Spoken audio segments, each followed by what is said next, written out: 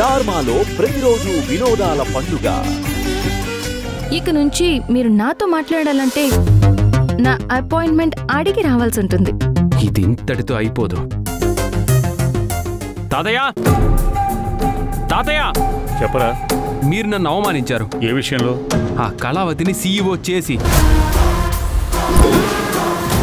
ఇది ఇంటి పెద్దగా. నేను తీసుకున్న నిర్ణయం.